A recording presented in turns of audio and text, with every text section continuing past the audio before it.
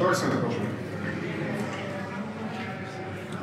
Повод за брифинга е приключилата вчера работата си, работна група, която беше създадена по настояване на Възраждане между наши представители и представители на правителството за премахване на зеления сертификат. Работната група заседава вчера от 10.30 в Министерския съвет до 2.30 следобед.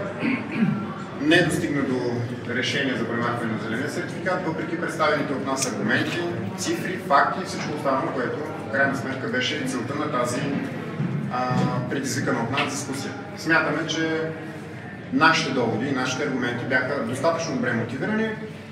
От другата страна, очевидно е, доминира политическо, а не експертно мислене. Точно поради тази причина и ние сме принудени да предприемем съответните политически контрамерки. Другата седмица, на 23 февруари, следващата среда, от 11 часа ще протестираме пред Министерския съвет. Приканваме всеки един, който мисли като нас и който смята, че тази дискриминационна мярка, която вече се отменя в една голяма част от държавите в Европа, доказа своята неефикасност, доказа своята безполезност, която има една единствена цел и тя е да засили вакцинацията, принудително принуждавайки хора, които ходят на работа, да правят избора дали да се вакцинират или да ходят на работа, защото няма как едното. Поради тази причина ние призоваваме всеки един, който мисли като нас, да дойде заедно с нас следващата сряда, да поставим въпроса пред Министерството съвет.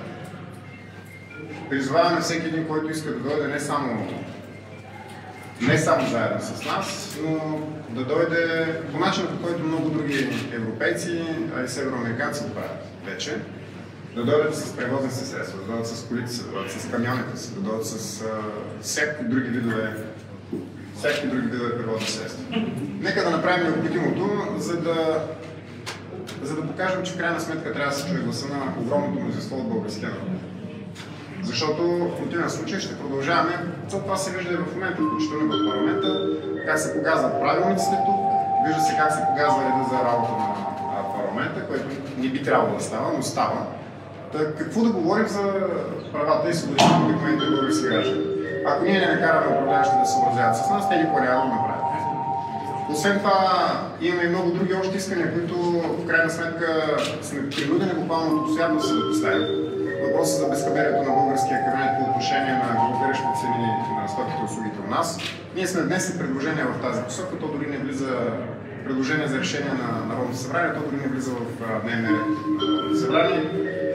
По същия начин, по който българското правителство момента позволява да бъде превръщано в една марионетна пешка на голямата геополитическа дъска на Източна Европа, позволявайки да бъдем размествани напред-назад от други сили, без да се вижда и да се усеща какъв точно е нашия конкретен интерес. Има ли България интерес от изострянето на отношенията близо до нашите граници? И защо ние не участваме като страна, която се опитва да действа на напрежението, а реално погледнато обслужваме чужди интереси? Всички тези въпроси стават все повече и повече. И за съжаление се вижда, че като че ли, като че ли има а, едно много лошо политическо наследство, което новия ГЕРБ в лицето на четворната коалиция наследи от стария ГЕРБ. И то е да се изпълнява безпрекословно всичко, което идва като разпореждане отвън, с тайната надежда, че ще бъдат оставени тук за сметка на това да правят каквото си искат свободно в къща. Само че рано или късно марионетките се изхъбяват или сменят други марионетки. Справка стария. Ето защо смятаме, че след като липсва такъв политически диалог тук, където има място, ще пренесем диалога вън на улицата. И сме готови да стигнем до, до края. Какво означава, извинявайте, до край? Това означава в сряда, когато дойдат хората, които а, ще присъстват на протеста, твърде е възможно и твърде е вероятно някой от тях просто да си Това означава. Миналият протест, извинявайте, пред Народното събрание не беше мирен, обаче този протест ще бъде ли мирен или сте готови? Как не беше мирен?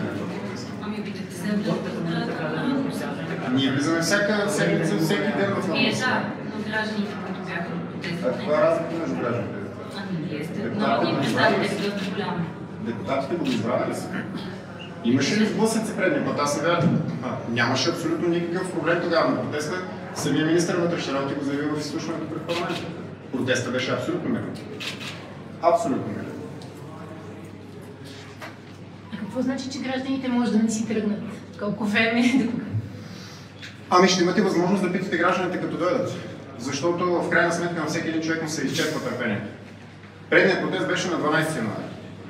Ние търпяхме един месец протакане, отлагане и проточване напред във времето разговорите за създаването на работната група. Миналата седмица, между другото, отново за пореден път само ще дам един любопитен штрих.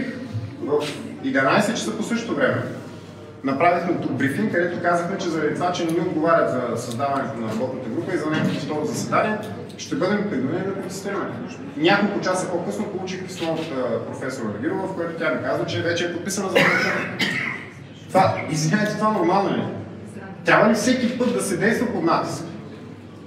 Ако действаме под натиск, ние се превръщаме в повторение на политическото статукво преди няколко месеца, когато управляваше Борисов, то управляваше по същия начин. И като има натиск, дава назад. Желанието ни е тук, това място, където се създават проблемите, да бъдат решавани проблемите. Но се вижда, че това наше желание не среща разбиране. Какво друго ни остава, освен това, което ни гарантира в крайна сметка закона? Да упражним законното си право на протест и ще го упражним. А вече имайте предвид следното нещо. Възраждане организира протеста. Но на протести ще дойдат хора, както и предишния път. Далеч не всички наши симпатизанти са мишленици. Ще дойдат хора, които симпатизират на други политически партии, които гласуват за други политически партии, такива, които гласуват и за управляващите включително. Защото зеленият сертификат е еднакво дискриминационен и за привържениците на правителството и за привържениците на опозицията. Той не дели хората. Няма преференции за тези, които са от управляващото мнозинство. Господин Костадинов, внесохте жалба в Конституционния съд със същото искане. В този смисъл, защо протестът се случва сега, на фона на следващата седмица гласуване на държавния бюджет? Защото днес Всъщност вчера беше заседанието на работната група и ние очаквахме работната група да приеме тези аргументи и факти, които ние показахме и които показват ясно и категорично, че зеления сертификат не носи замисъл, който всъщност му беше отреден според управляващите, а именно да предпазва от разпространението на така наречената зараза. Кога точно да протестираме? Да чакаме да мине бюджета? Ами ние не сме съгласни с този бюджет включително. И не сме съгласни с това, че виждате даже в момента как се, как се изнасилва от управляващите правилника на Народното събрание. Гласуваме в рамките на няколко минути един закон на първо на второ четене. Въпреки, че аргументирано доказахме и показахме защо това противоречи на правилника сиреч на закона. Ама какво значи тук някакъв си закон? Пак питам, каква е разликата между стария герб и новия герб? В този случай. Къде е? Покажете ми, че аз не я виждам. И защо месеци след като приключиха протестите, пак трябва да излизаме на протести? Държавата не е в добро състояние. И ние сме последните, които бихме искали да излизаме навън, но те ни ни оставят друг избор. Какъв друг избор имаме в тази ситуация? Да се примирим? Никога няма да се примирим. Да, Конституционният съд ще се произнесе, но ние не знаем кога. А и не можем ли да настояваме от него. В крайна сметка това е най-висшата конституционна институция в държава. Това е нещо като втората камера на българския парламент. Не можем да настояваме от тях да стане утре или други ден. Сигурен съм, че те ще вземат възможно най-бързото решение, но това в техния случай означава няколко месеца възможно най-бързото решение. Няма да стане за няколко седмици. През това време какво правим? Това ли е най-належащия проблем в момента? Знаете, има развитие по аферата Барселона, директни бюджет, както казах. Зелени сертификат в момента? Не случайно, не случайно и аз в самото начало аргументирах, може би не сте го чули. Не случайно протестът няма да е само единствено за зеления сертификат. Защото ние внесохме предложение за решение на Народно събрание, с което да се задължи правителството да предприема пакет от спешни мерки за преодоляване на ценовия скок и шок, който се очертава и който се случва в момента. То не влиза в дневния ред. Не е само единствено това. Аргументирах ви ситуацията с а, кризата в Украина. Включително дори ако щете вчерашния абсолютно безсмислен и абсолютно безумен консултативен съвет по национална сигурност. 6 часа коментирахме, че армията е зле. Добре, това не е държавна тайна. И после какво? Нищо. Една декларация е изпразена от съдържание. След няколко години, ако така продължават нещата, а те ще продължават, ще четем отново същите декларации. Какъв беше смисъл? Да, извинявайте, вчера за Украина обсъдихте ли темата? Беше обсъден в самото начало. То присъстваше като част от дневния ред на консултативния съвет. Къде е на България в тази ситуация? Вие да се чули до сега някой от управляващи да, се, да изрази грам загриженост или поне не загриженост, даже да най-низката фаза заинтересованост за българската общност в Украина. Вчера гърците, които имат едно много микроскопично младсинство в Приазовието, поставиха въпроса, ако трябва да се евакуира тяхното младсинство от а, района на евентуалните бойни действия, каквито бойни действия няма да има. Апропо. Това го казаха всички вече наши конкретни отговорни фактори. Имаше и специално изслушване тук на шефовете на службите. Въпреки това гърците обаче поставят въпроса все пак. Така прави една държава, която уважава своите сънародници. Вие да сте чули някой някога да се е погрижил дори вербално поне така обгумна страна да каже нещо. Не, разбира се. Това нормално ли? И ето заради това също ще протестираме. Ще протестираме заради това, че в момента в нашата делегация, която е в Съединените щати, е включена американската посланичка. Аз, апропо, вчера се чудих кой липса на консултативния съвет. Ами Херо Мустафа липсваше. Не е смешно, трагично е. Не е смешно, защото е трагично това, че ние реално погледнато в момента не определяме собствената си политика. За всички тези неща ще протестираме. И зеленият сертификат е само върхът на айсберга, който разделя българското общество в момента. Апропо, заради зеления сертификат и заради ограничителните мерки се налагат допълнителни милиарди левове в бюджета, които ще бъдат за компенсации на щетите, причинени от правителството. Аз вчера казах, просто премахнете мерките и няма да има щети. Като няма да има щети, няма да има компенсации. Печелим 2 милиарда лева. От едното ухо влезе, другото излезе. Край. Никой даже не отговори на този въпрос. Половин милиард лева за вакцини, за тестове. 76 милиона лева са предвидени за тестове на децата в училище. 76 милиона лева са това. Хвърлени пари на вятъра. За половин както ме допълва колегата Цончука. Пари има очевидно държавата да се пилеят за глупости или може би, защото просто така са им казали. А същевременно се оказва, че армията няма достатъчно средства за превъоръжаване. Аз им казах, добре, дайте да ги прехвърлим просто от едното перо в другото. Не, ще напишем декларация колко е важно да се превъоръжаваме. Добре, всички го знаем това. Защо пишем декларация? Вие сте хората, които управлявате държава. Ама имаме тежки бюрократични проблеми. Ами добре, оправете ги тези бюрократични проблеми. Вие сте хората, давайте ще ви подкрепим. Премахнете този бюрократичен ред. Убийте бюрокрацията.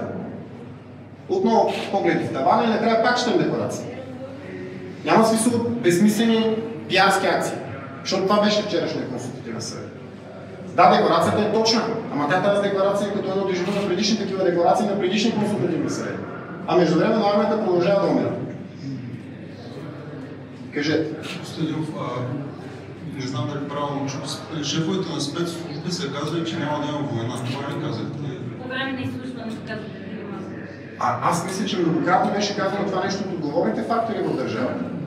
Няма заплаха и няма опасност. И всяко едно нагнетяване на напрежението създава единствено паника и психоза в населението. И за това Казвате се такова нещо. Е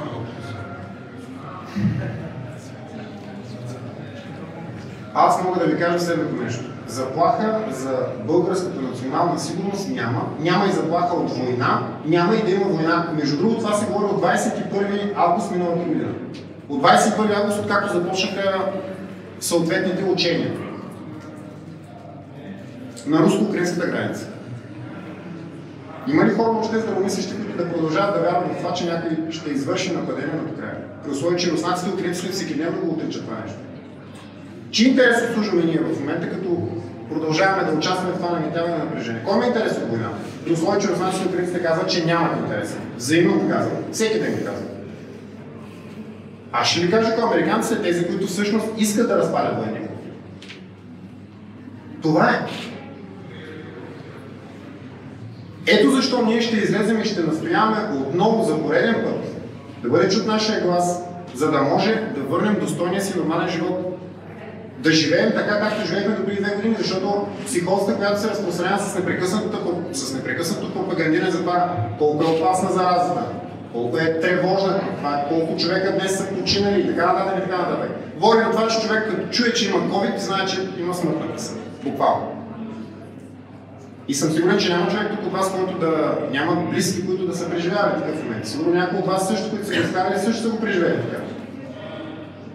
Защото това е насъденото мнение. Просто искаме нормализация.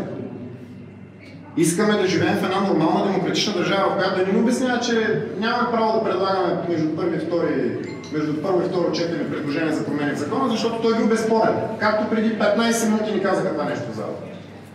Според кого е безспорен? Пише ли в Конституцията, че продължаваме промяната имат право да казват кой е безспорен и кой не е безспорен закон? Не е ли наше право това? Кой суспендира това право преди 15 минути? И това са неща, които се случват всекидневно. Тоест тук няма промяна, колеги. Има продължаване на едни много неприятни стари традиции, които ние ще направим всичко необходимо, за да ще използваме един термин, придобил популярност изчегъртване. Ако протеста не доведе до желания от вас резултат, какво следват? Нови протести или... Всичко може да последва. Нека да видим първо как ще реагират управляващите, защото още веднъж ще повторя, ние искаме едно единствено нещо и то е диалог. Защото проблемите трябва да бъдат решавани с диалог, с разговор и тук му е мястото. Но когато не се случва, когато всяко едно такова решение трябва да бъде вземано след натиск, добре, така да бъде, ще оказва натиск. Щом така искам, така ще бъде. Не е наше решение. Принуден сме от обстоятелства.